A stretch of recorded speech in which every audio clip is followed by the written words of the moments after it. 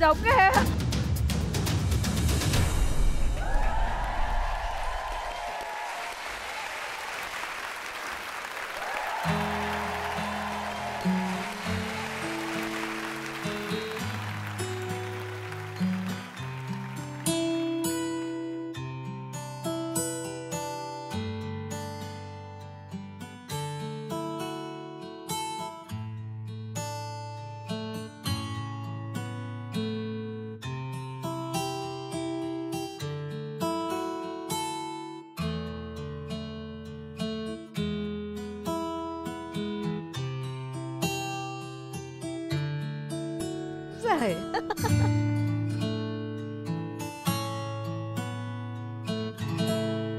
Chuồn chuồn ớt Chưa hè nóng bức Mặt đêm tan rộn Đọc ơi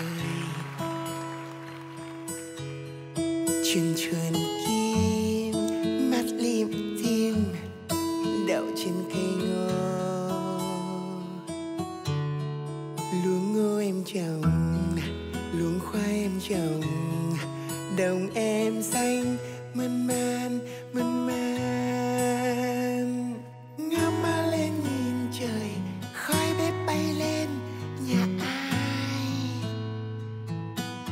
từng giọt mồ hôi rơi, từng hạt mưa rơi rơi. Sầm sập sầm sập, em mong anh về.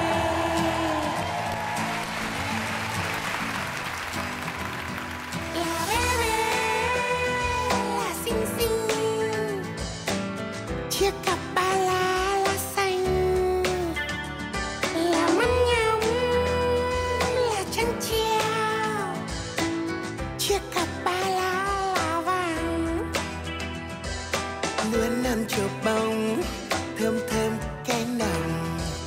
Tóc vương hàng cây, hay hay má là má thắm, là môi son. Cặp ba lá xinh, càng xinh. Tiếng con gà trống gáy vang xa.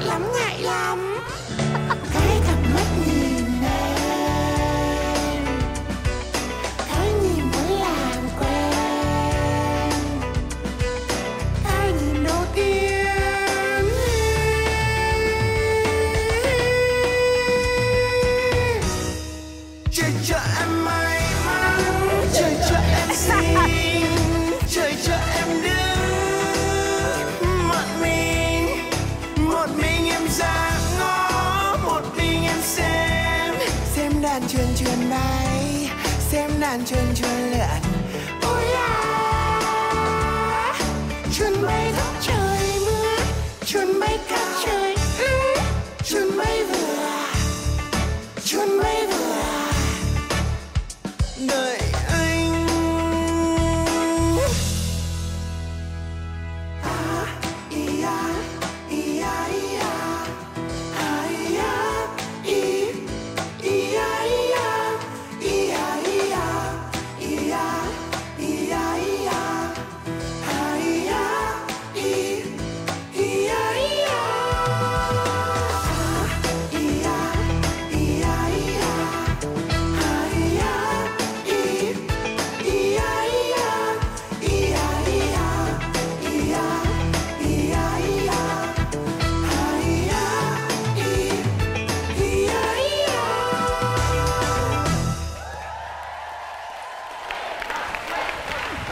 Lòng chun, lòng chun, lòng chun.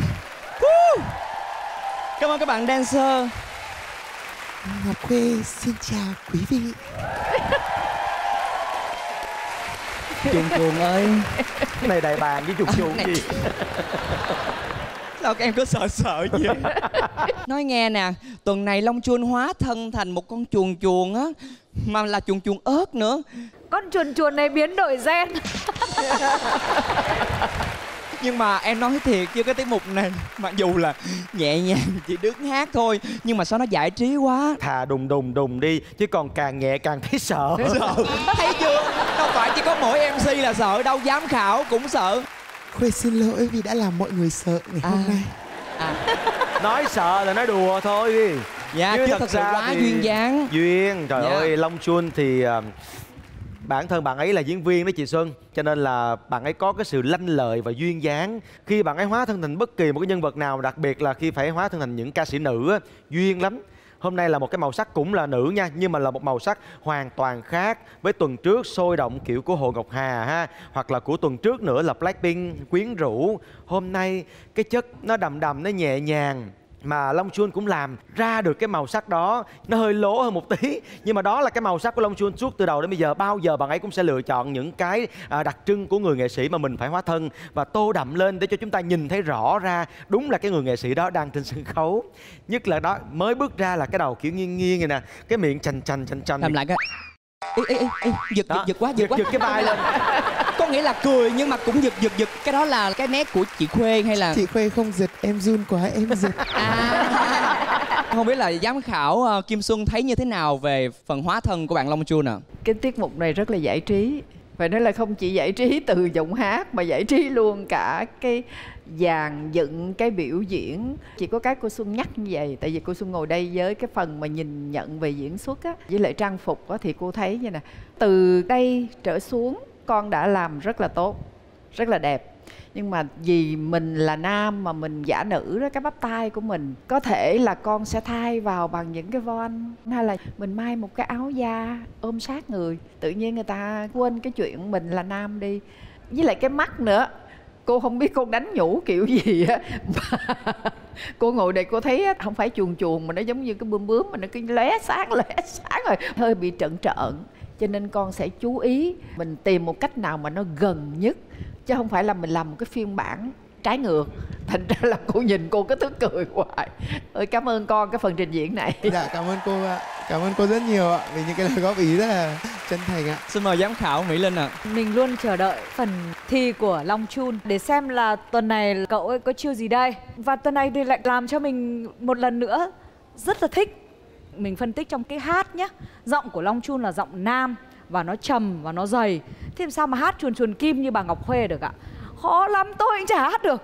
Thế nhưng mà long chun vẫn xử lý được. Chỗ nào xử lý micro xa gần thế nào đó để cho nó lấp liếm tất cả những cái không giống đi. Và đến cái đoạn nào mà nó có thể giống được thì lại hát to và rất là rõ ràng. Coi như là nghiên cứu tính toán kỹ lưỡng chứ không đơn giản là cứ hát hát bắt chiếc không phải vậy. Dạ. nói chung là vẫn rất là thích Long Chun Thành ra từ đầu đến giờ ấy điểm của bạn luôn ở top 1, top 2 là nó không phải là vô lý đâu. Bạn thực sự là một người có tài năng và đúng là gương mặt thân quen mùa này có một cái thí sinh như bạn là một sức hút rất là tốt và cảm ơn bạn đã đến với chương trình và mình cũng xin dành lời khen cho bạn trong cái uh, tiết mục ngày hôm nay. Em cảm ơn chị Mỹ Linh Những Cảm lời ơn nói giám của chị khảo Mỹ Linh làm ạ. em rất là xúc động cảm ơn ban giám khảo. Đó long chuông thấy không? Tình cảm của giám khảo dành cho bạn rất là nhiều đó. Nè.